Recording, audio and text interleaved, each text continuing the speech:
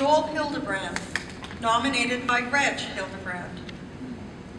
Joel Hildebrand was nominated by his dad Reg because of his exemplary leadership skills.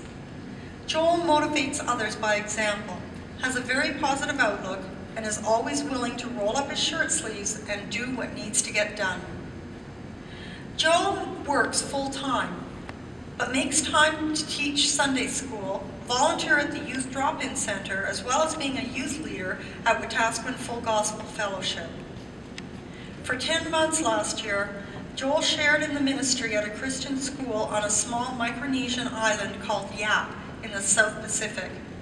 He raised his own support and was able to provide much needed textbooks for the classroom. Joel greatly impressed Principal Gary Bestreeten with his maturity and leadership skills. Kevin Schuler of Hope Missions Youth and Children's Services says Joel has a servant's heart as he participates full-time in the after-school program.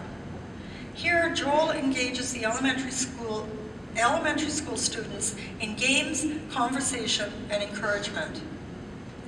Pastor Nathan Weeb of Wetaskiwin Church of God says Joel has served as a youth leader who models preparation, leadership, and grace con consistently in his congregation.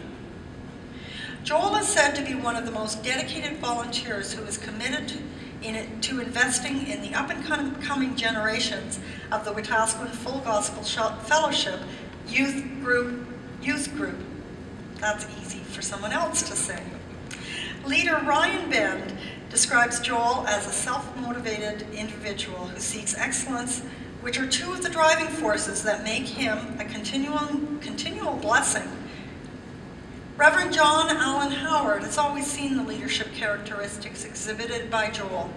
With the ability to get others on board, bringing their gifts and skills to the project, Joel does not feel the need to be identified. He is an enabler, an encourager, who knows when to lead and when to follow.